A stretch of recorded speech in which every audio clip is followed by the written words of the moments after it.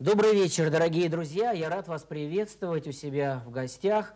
И позвольте мне сразу представить тех людей, которые пришли сегодня ко мне и которые, надеюсь, порадуют не только меня, но и вас. Хотелось бы сразу напомнить, что у нас прямой эфир, и вы можете пообщаться и со мной, и с моими гостями по телефону 541 25 40. Итак, здравствуйте.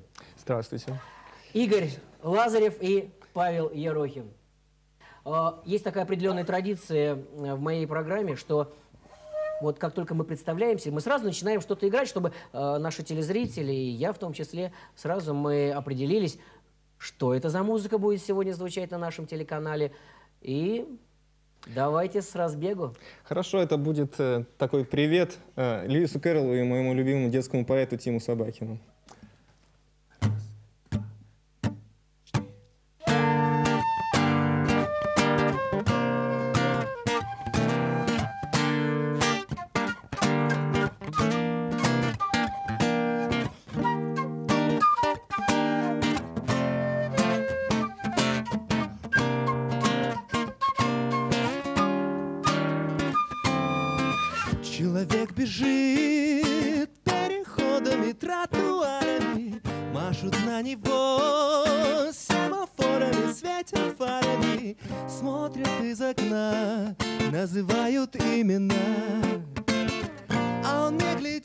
Сторонам Он бежит вперед, не откликнется, не оглянется Только слух о нем пересудами следом тянется. На исходе дня он врезается в меня Говорит спокойствие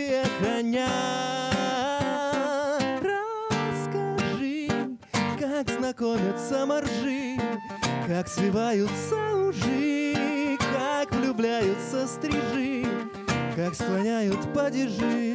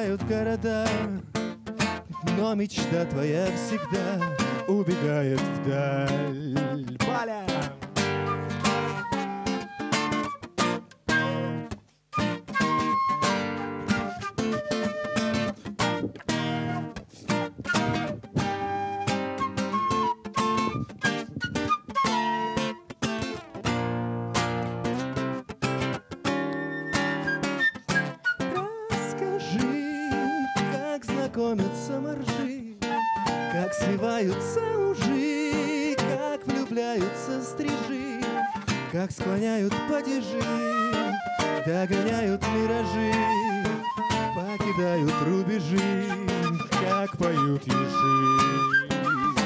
Передай, как смеются поезда, как скучают среди льда океанские суда, как уходят в никуда, покидают города. Только горизонт всегда убегает вдаль.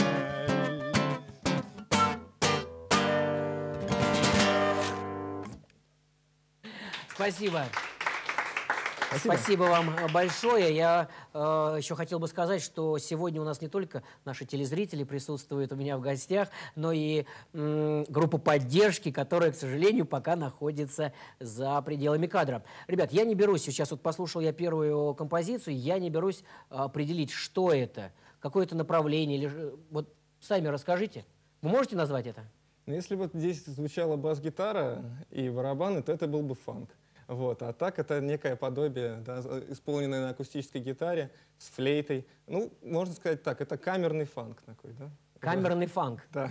Ну что ж, неплохо. Кстати говоря, вот уже у нас есть э, телефонный звонок телезрителя. Давайте и послушаем. Добрый вечер. Здравствуйте, Здравствуйте. А, меня зовут Вера. Я хотела бы выразить огромное восхищение музыкой, которую вот сейчас я увидела, переключив центральный канал на телеканал Видное ТВ. Спасибо. Это такой свет, позитив. Игорь Павел, огромное вам спасибо.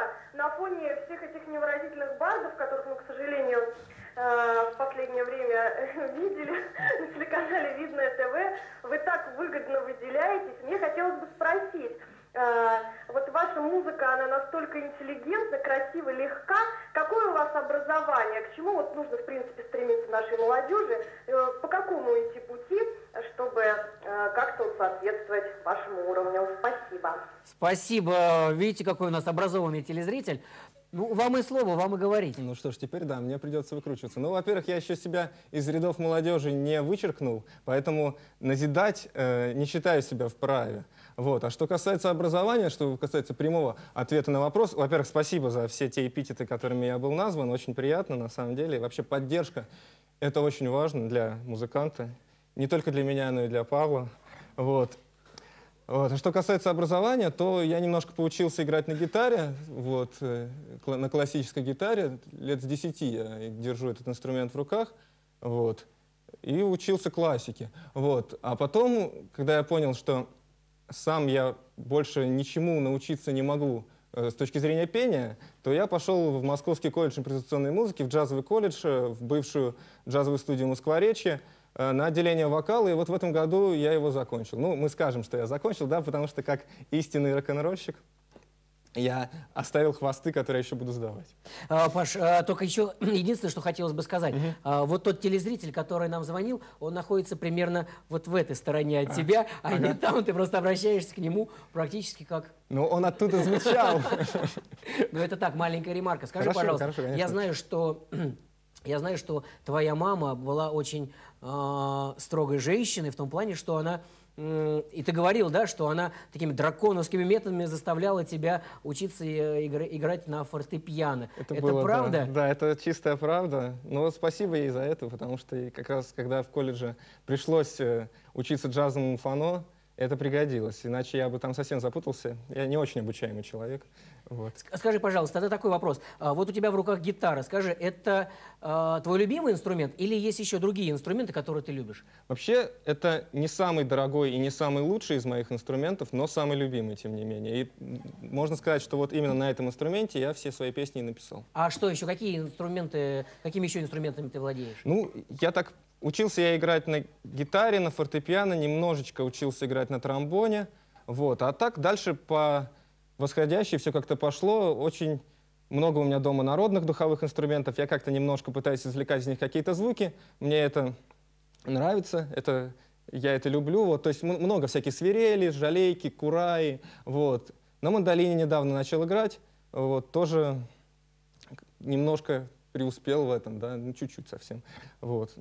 Наверное, пока все. Вот на флейте мечтаю научиться играть, но Понятно. Скажи, пожалуйста, а вот ты перечислил столько а, инструментов музыкальных. А ты искусством аранжировки владеешь? Потому что человек, человек, который вот все это.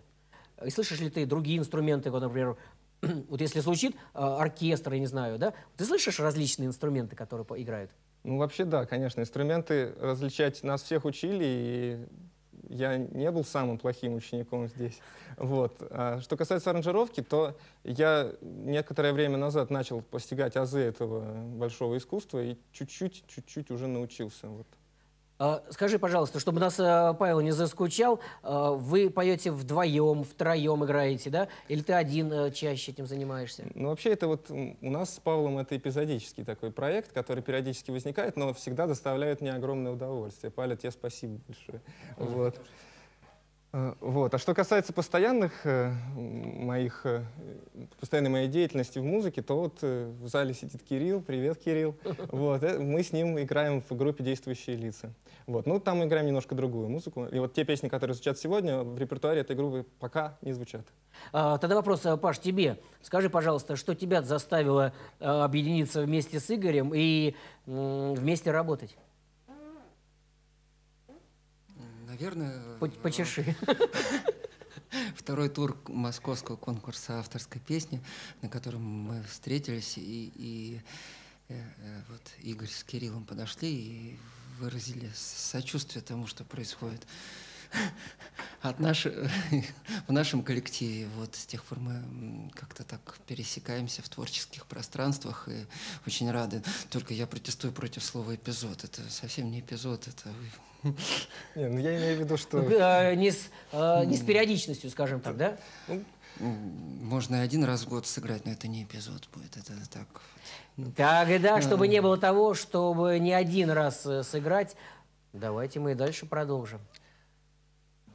Попытка Бусановой. Песня называется «Пилоты». Когда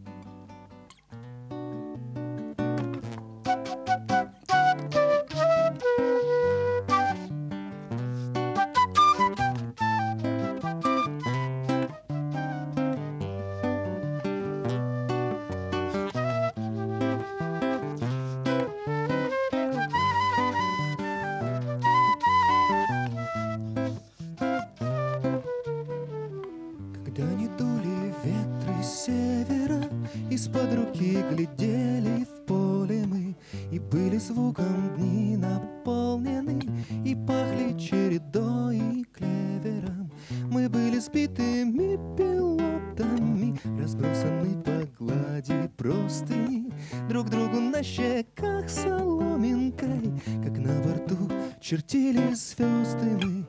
Ты танцевала до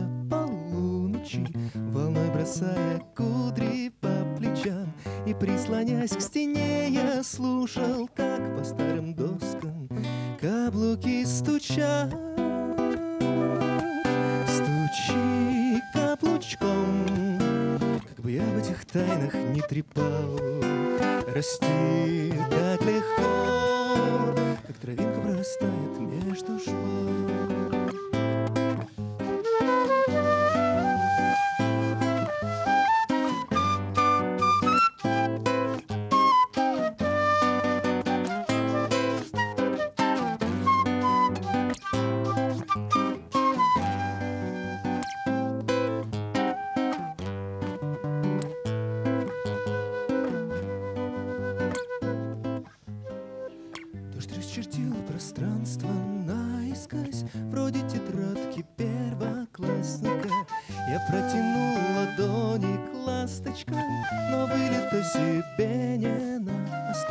Все как-то слишком устаканено Да сковано благоразумием.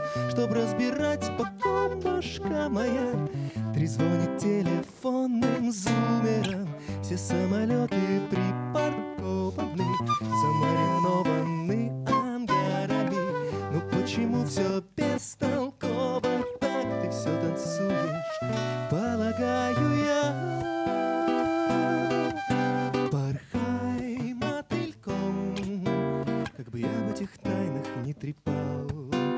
Цветим так легко Как ромашка зацветает между шпал. Цветит так легко Как ромашка зацветает между шпал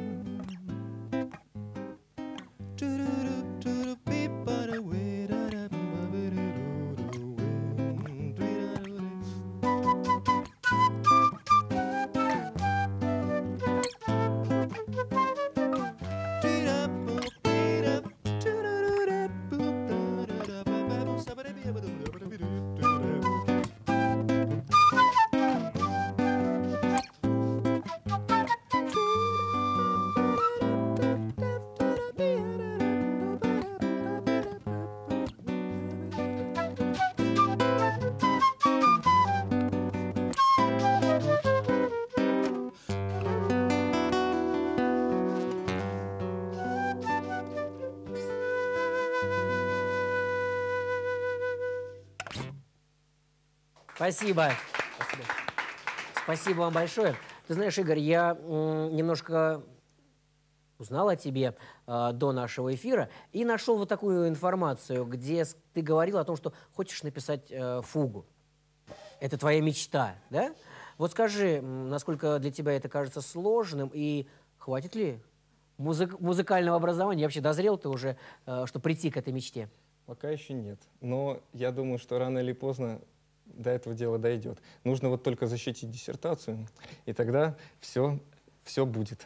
И фуга, и прелюдия. Вот. Скажи, а чем продиктована такая мечта? Вообще Баха очень люблю, и Ага. люблю музыку барочную. Вот. И мне кажется, что если это получится, то песенное творчество как-то уже полегче пойдет. Вот скажи, э, есть такой извечный спор, да, физики и лирики. Э, Вот ты скажи, да, твое сочетание, ты немножко проговорился по поводу диссертации, ты сразу ухватился. Э, Скажи, как в тебе сочетается физик, лирик, и в чем ты физик, а в чем ты лирик? Вообще сочетается, конечно, плохо, но я пытаюсь что-то с этим сделать. Вот. Э, Физик я в том, что я закончил физтех, но вообще многие хорошие музыканты зака- заканчивали технические вузы. Аплодисменты. Вот.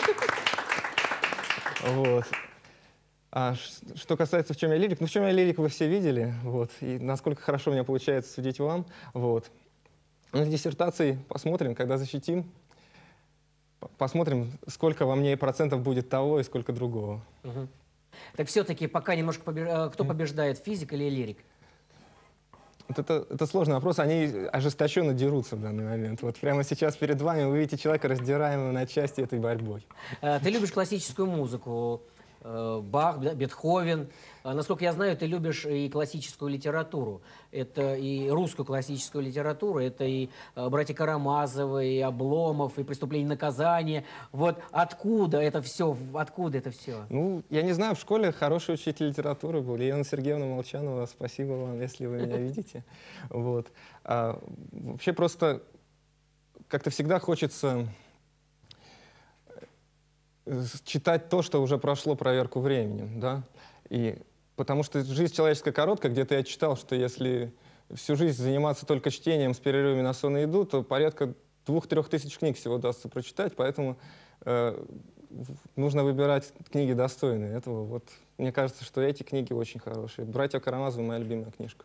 Вот скажи, пожалуйста, вот ты э, говоришь, что порядка там двух-трех тысяч можно успеть прочитать. А скажи, а есть время перечитать свое любимое произведение? Вообще иногда перечитываю, да, но не- немного. Вот. В основном перечитываю Евангелие, если честно. Вот. Мгм. Открою интимную подробность. Ну, о вере, если ты позволишь, мы поговорим несколько позже. Сейчас давай что-нибудь сыграем, споем. Да, это тоже песня такая, а, продолжая тему Евангелия, но немножко в другом ключе, песня о любви. Вот. Если нашу передачу увидит моя жена, Аня, привет. Я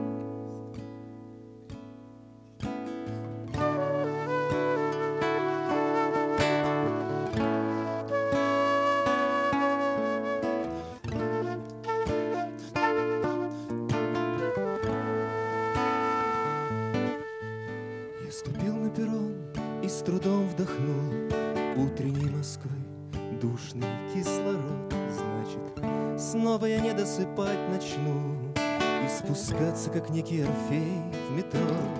Тесный город, что все-таки я не смог Ни на что поуютнее променять. Здесь горит среди сотен чужих домов. Маяком окошко, где ждут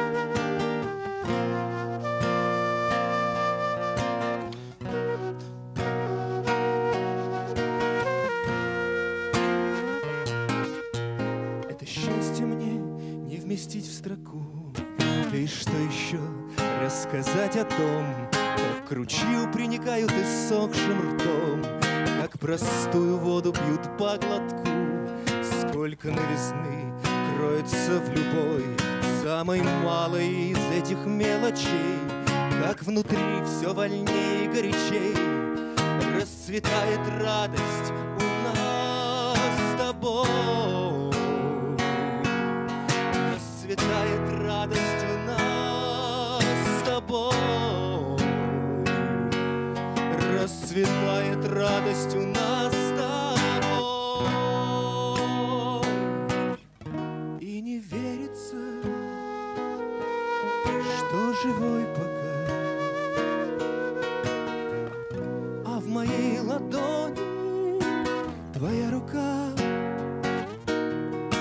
за что это счастье у дурака, а в твоих глазах глубока река, и по ней плывут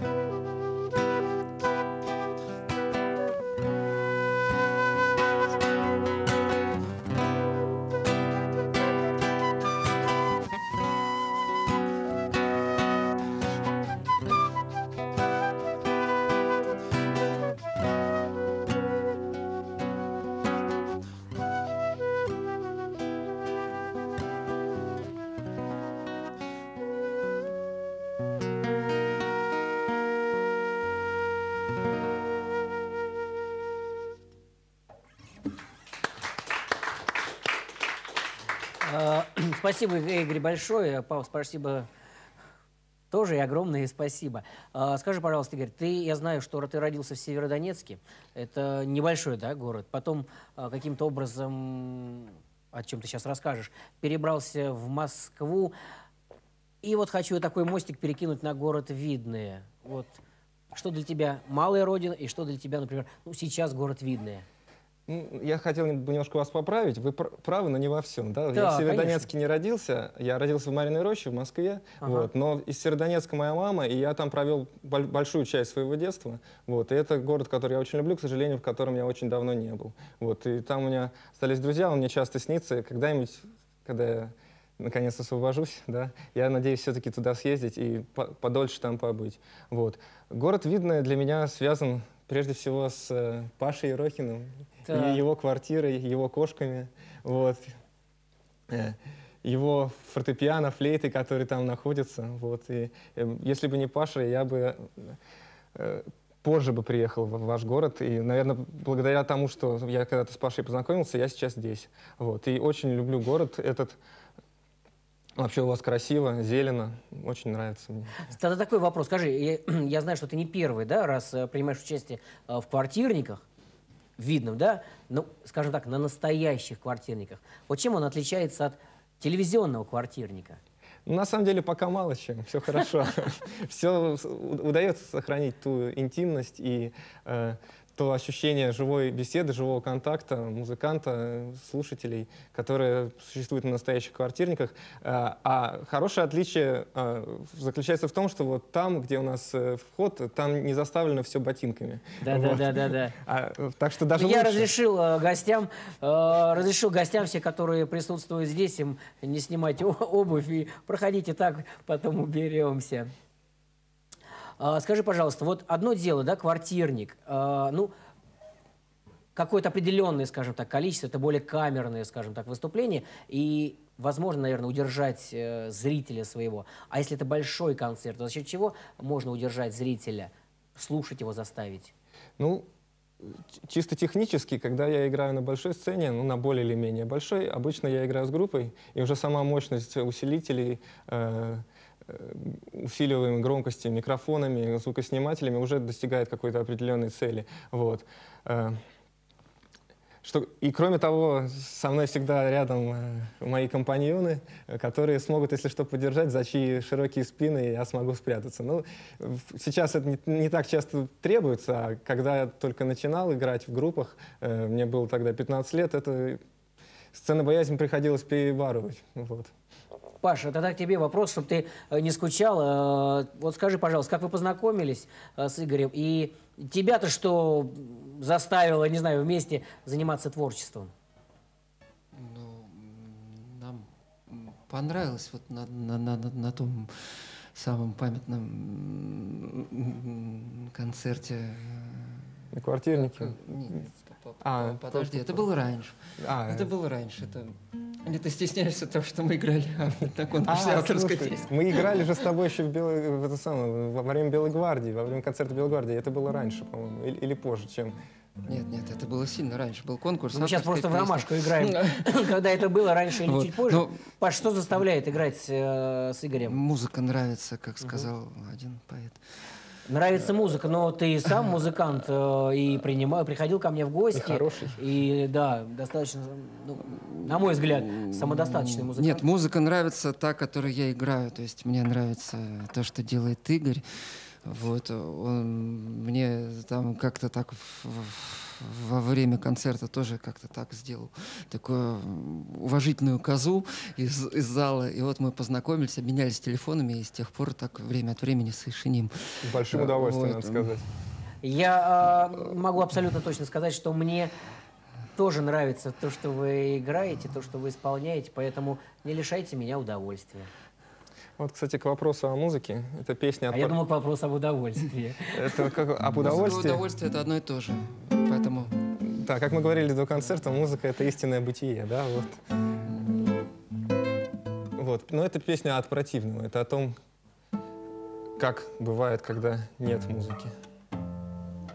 тоннеля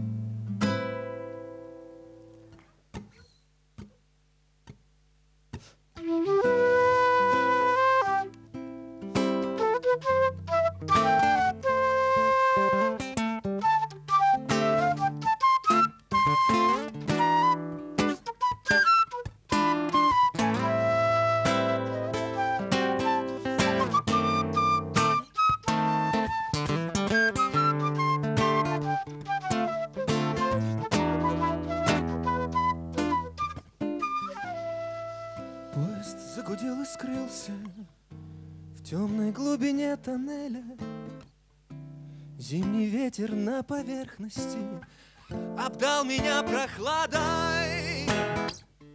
Долго я в карманах рылся И уже нащупал плеер Но подумал, ради бога Только музыки не надо.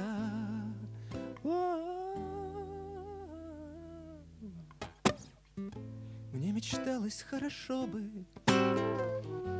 Не закончился декабрь И весна не ворвалась. Артиллерийской канонадой Я пришел домой, разулся И воткнул в гитару капель. Но подумал, что угодно Только музыки не надо. Ничего не изменилось Кончилось тысячелетие Никуда не подевалась Беспричинная усталость. И настолько же съедобны Общепитские котлеты. Все такое же, как было Только музыки не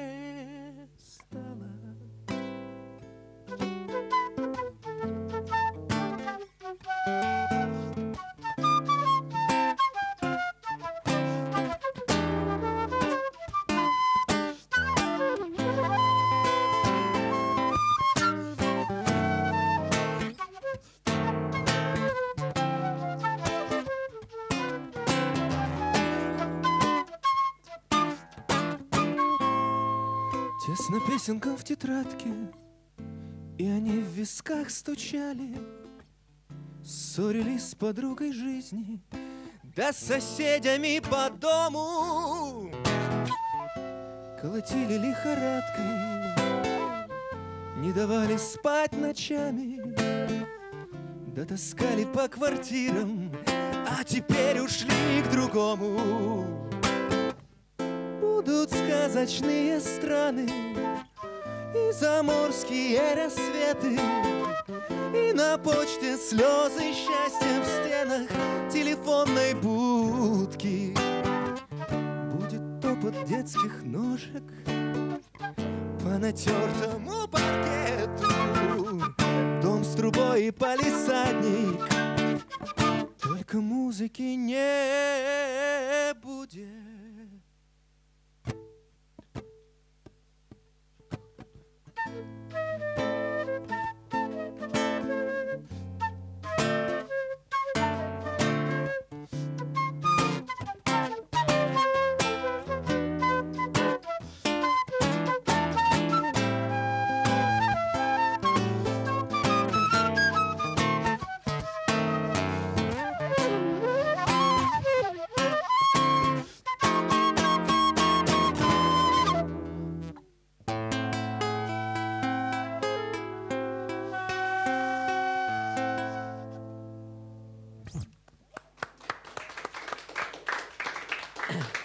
Спасибо, ребят, большое. А, Скажите, а вот, ну, в том числе Павша, Игорь, скажи, пожалуйста, а а есть ли такое у вас чувство, ну или может не чувство, я не знаю, как это точно определить, творческий подъем и творческий кризис? Конечно, есть. Конечно. Как он выражается, в чем выражается? Ну вот лучший способ борьбы с творческим кризисом это вот написать песню про то, как какой у тебя творческий кризис. Вот, собственно, что и было сделано с предыдущей композицией, хотя она не только об этом.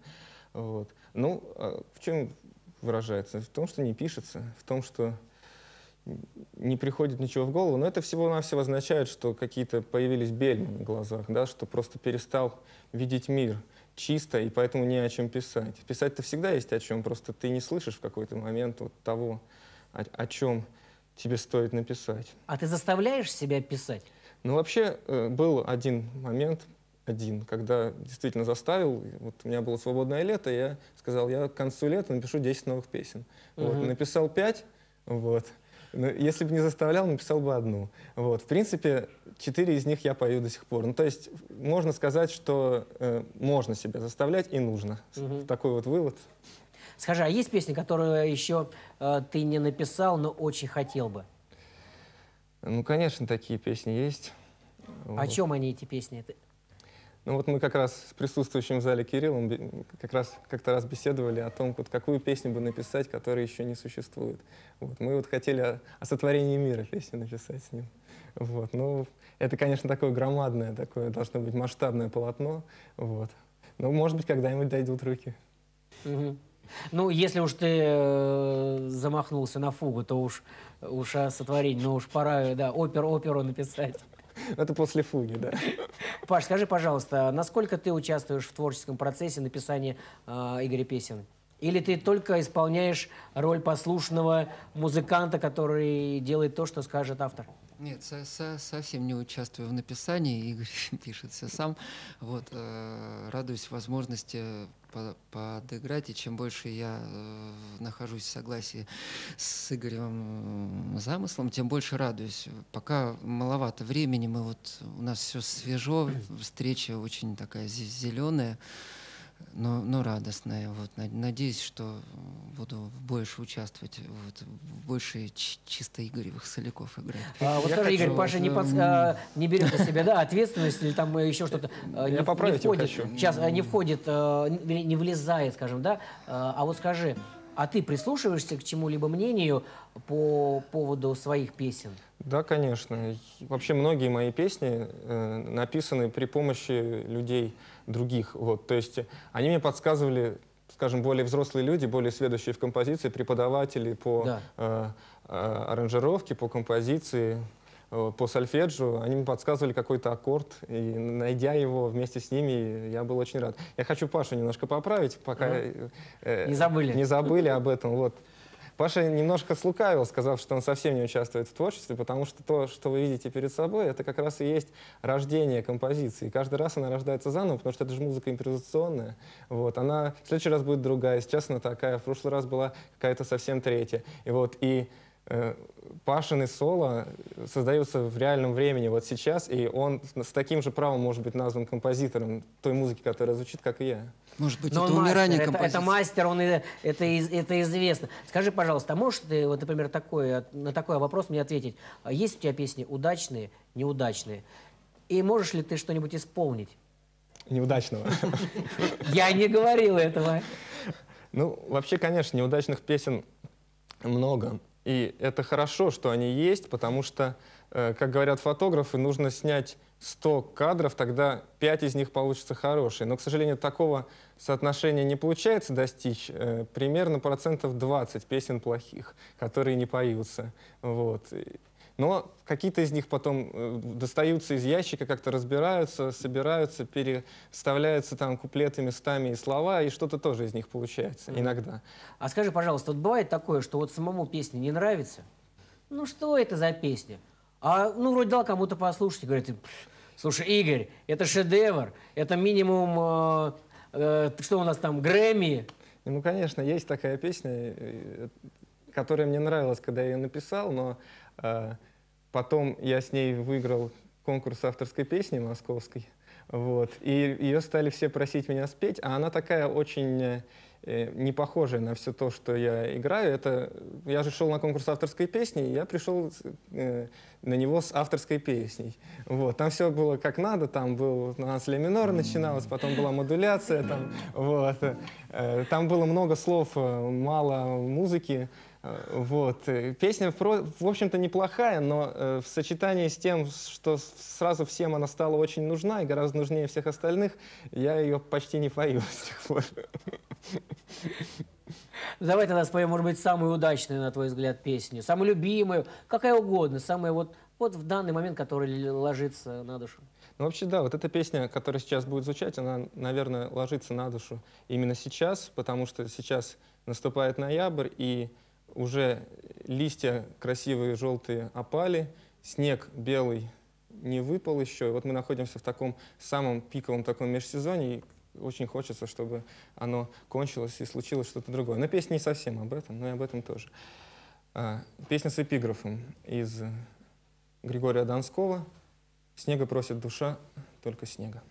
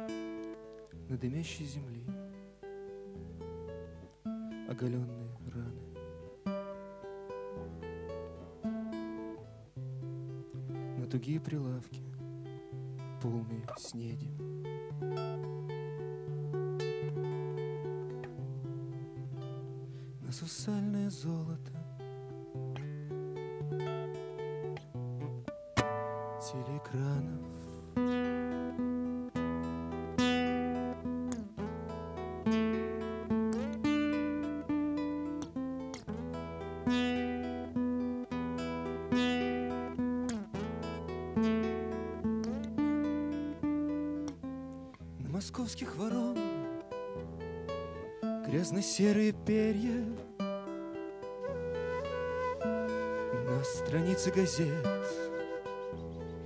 на обложке журналов, на скульптуры вождей, на руины империй.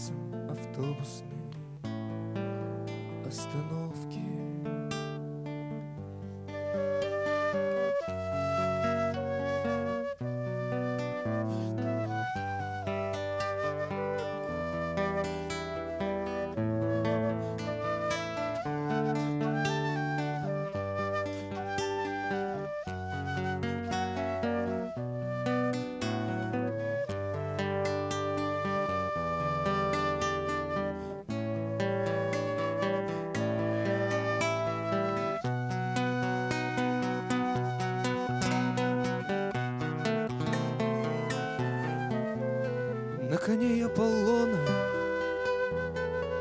Чугунные крупы. На решетке оград. На горшки азалий.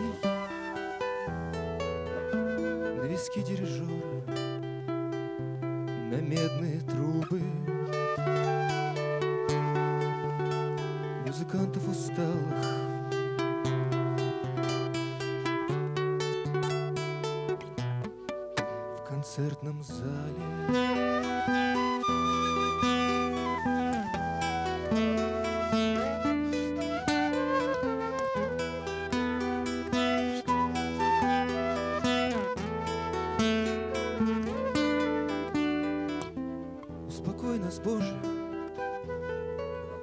омой нам раны,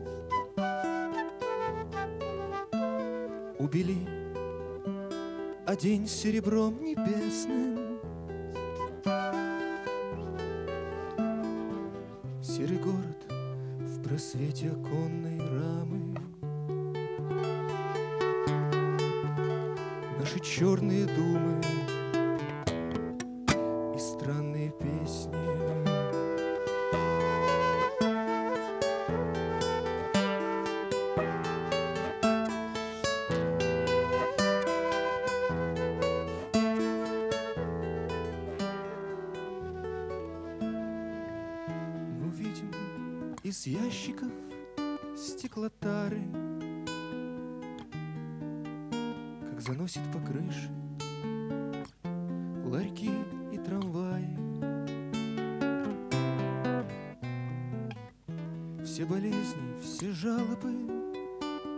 И мытарства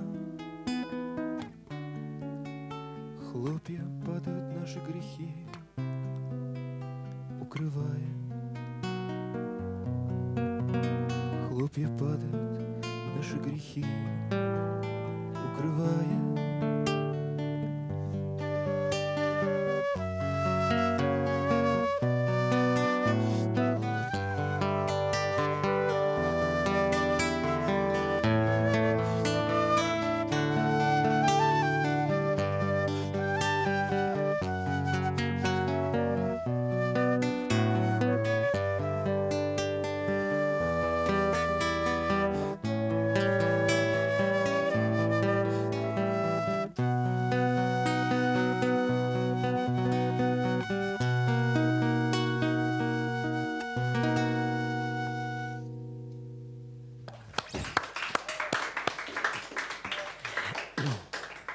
Ну, после этой композиции, честно говоря, я даже и, и не знаю, с чего, к чему дальше продолжать разговор.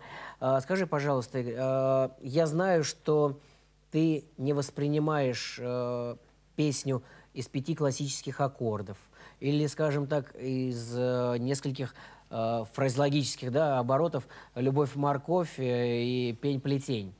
А, вот скажи, вот, говоришь, что даже э, классики авторской песни, да, э, вот ты не воспринимаешь все это. Дед, милая моя, солнышко лесное. Почему так? Вот как раз позавчера с Пашей у нас был разговор, но не совсем так. Как всегда, э, любая мысль, выраженная в виде максимы, более понятна, но менее правдива. Вот. Э, Есть в классической авторской песне очень много хороших вещей и при этом простых. Но, к сожалению, вот эта видимая простота порождает очень много такого эпигонства, которое э, оставляет себе простоту, но не имеет гениальности первоисточника. Вот. И в этом вся причина, что э, можно писать и нужно писать просто. Я, к сожалению, не умею писать просто и хорошо. Вот. И поэтому я пишу сложно и надеюсь, что это хоть как-то хорошо, что это, что это неплохо. Может быть, чуть позже я научусь там, лет через 20 писать действительно просто, и это будет достойно того, чтобы это исполнялось. Скажи, пожалуйста, не было желания писать э, коммерческую эту музыку? Зарабатывай на этом. Ну, вообще, э, коммерческая музыка такой немножко лукавый термин. То есть э, получать деньги за музыку хочется, конечно, потому что вообще большая мечта заниматься музыкой и э, ничем кроме музыки. Ну, потому что это я, да, это то, то, чем я являюсь, а не то, чем приходится быть. Вот, ну, коммерческая музыка, ну вот не получается, нет у меня, видимо, пока э, не развил себе такой способности, вот. Да и никто не предлагал пока, может, предложат. Я вот му- музыку к фильму хотите, напишу. Звоните, если что. Очень, а, очень хочу, тем более есть такие планы. А скажи, пожалуйста, да, вот такой вопрос, я его задам несколько с таким заходом. Вот скажи, пожалуйста, какую бы песню ты хотел бы написать? А, «С- «Солнышко мое» или э, «Сюси-пуси»? Вот, это интересно. Нет, я его, конечно, лучше «Милая моя» написал, действительно, «Солнышко лесное», чем «Муси-пуси», да. Потому что я, э, я знаю, что однажды ты высказался, что э, есть некоторые песни, некоторые песни, которые я жалею, что не сам их написал. Вот что это за песни? Ну, много таких песен. На самом деле, вот у Паши есть э, несколько песен, которые я с удовольствием бы написал. Вот. Я жалею, что я их написал. А он жалеет, что он их, он их не написал, да. Все, Вот, нет гармонии в мире. Много есть песен. У, у группы Битлз много есть песен. Много есть Так, народных песен, которые хотелось бы написать. Ну, видимо, поэтому они и народные. ага. Скажи, а вот ты еще, г- я просто знаю, говорил о том, что а, у тебя была хэви-металлистическая такая юность. Вот скажи, да, да, да. Это, это все, это умерло? Ну как, иногда хочется попеть рачок. Так. Вот, и вообще некоторые утверждают, что лучше всего попе- попеть получается как раз рачок, но вот пока негде. Вот. Не- нету такой группы, и нет времени, чтобы попеть в такой группе. А так, э, в принципе, э, нет, не умерло. Э, Совсем heavy metal, конечно, уже просто гормональный фон в организме не тот. Вот. Но просто я не, не в обиду к э, металлистам, я как раз завидую как бы, интенсивности их обмена веществ. У меня просто такого уже нет. Вот. Но такой хороший классический рок с э, таким нормальным жестким вокалом, с э, фузованным, я бы поиграл, но некогда. То есть пока не получается. То есть если перечислять э, Deep Purple, Назарет, э, Black Sabbath, там, не знаю, вот что ближе? Ну, Deep Или- Purple, Led Zeppelin очень люблю. Если тоже брать группы нелегкие, но более завихренные, Gentle Ага. Giant очень люблю, вообще любимая моя группа среди вот рока, пожалуй. Мгм. Вот. А есть что-нибудь вот, э, вот в исполнении в твоем, вот сейчас что-нибудь из такого? Это хорошо. Это, кстати, э, сейчас как раз планировалась примерно такая песня. Вот видишь, мы с тобой не договариваемся, а думаем об одном и том же. да, так и есть. Э, э, Сейчас будет песня, это будет блюз, ну такой блюз-рок местами. И немножко тяжеляка можно будет себе представить. Я думаю, не один я хорошо слышит инструменты там, где их нет. Вот представьте, что здесь есть ударная установка, э, бас, э, прифузованная электрогитара, и Паша вместе с вами попредставляет, и у него будет возможность отдохнуть немножко. Несуществующий блюз. Как там живется бывшим поэтом я Расскажу вам всю правду про это Шествуя мимо заброшенной стройки Видишь в пыли воробьев строки Даже и мысли не возникает. Или, к примеру, трава зеленеет Ласточка машет крылами дуреха. Сердце стучит себе не пламенея Будто бы не замечая подвоха. Раньше хоть как-то душа шевелилась Светлые мысли тускло сверкали. Ныне тебе уже месяц не снилось то Что и днем тебя не отпускало. Сны перестали водиться с поэтами. Очень они загрустили поэтому Скажем, флетист нажимает на клапан. Летчик сияет, в полет отправляясь. Хочется только поменьше их лапать Не замусоливать, запечатляя. И в окружающем предновогодье И в коньяке из обшарпанной фляги. Ты предпочел сочетание Чем сочетание Лишь сочетание. Словно бумаги Все это делали Бродский и Кушнер Более броско Менее скучно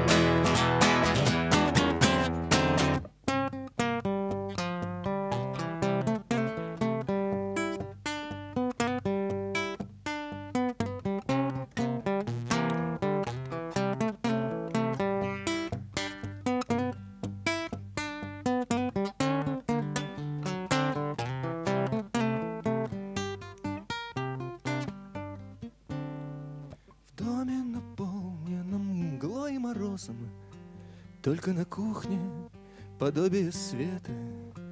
Там до будильника Кант и Спиноза Спорят о предназначении поэта. Вечер вчерашний в ушах отдается, Жизнь, как идея, абсурдна без кофе. Гости ушли, а тебе остается жить на развалинах Жить на развалинах. Жить на развалинах. Их философии Трудно на свете бывшим поэтам Не забывайте, люди про это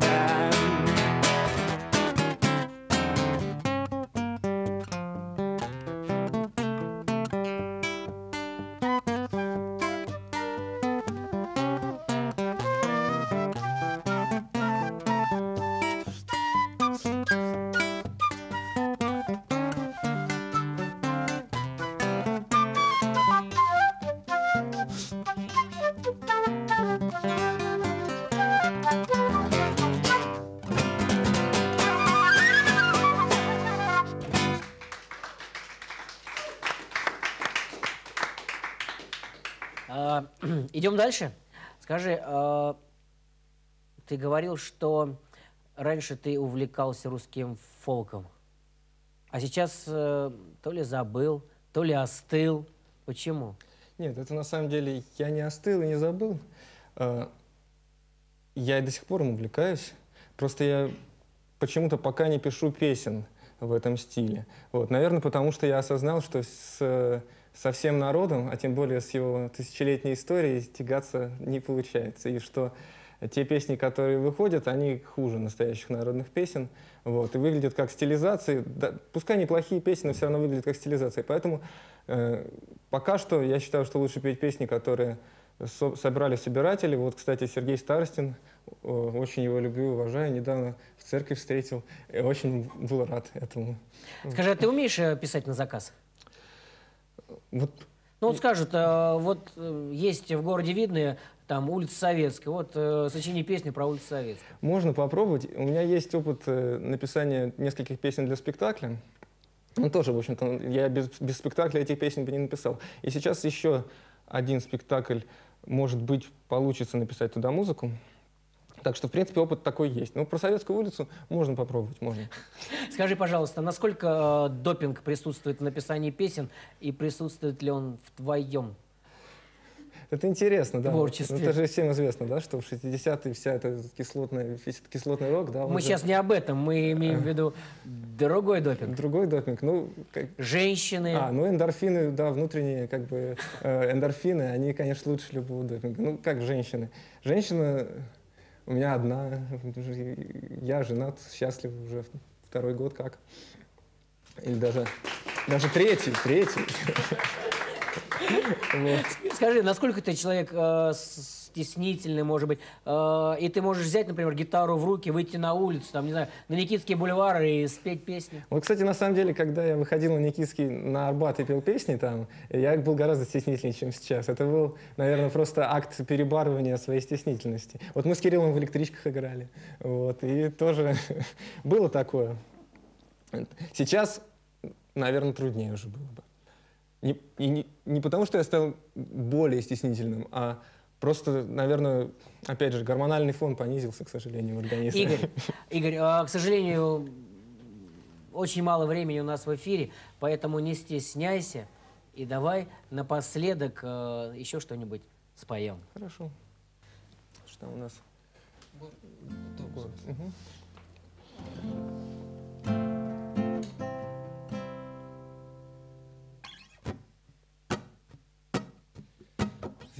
Вернувшись в старый дом, где мальчиком играл, Как будто из вчера открытку получаешь.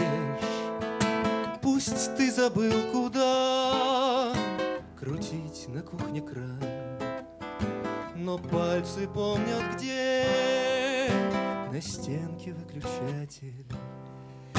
И лучше, чем ты сам, тебя здесь знает все.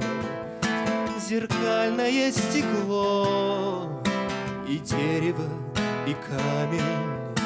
Пускай тот зыбкий мир минувшим унесен. Тетради из стола хранят его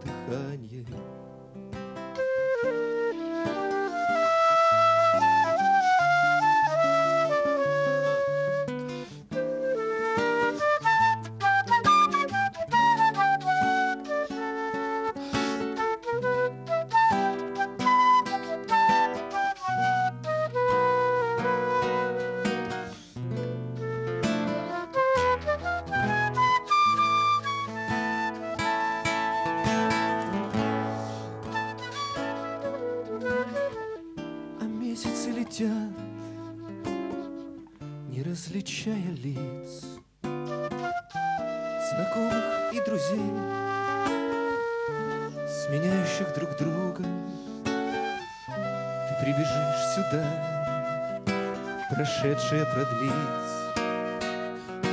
И дух перевести И вырваться из круга и вырваться из круга. Смотря как на окне рождается росток, и краткие часы, ничем не беспокоясь, ты просишь небеса о радости простой, чтоб к новому цветку привился старый корень. Ты просишь небеса о радости простой, Чтоб к новому цветку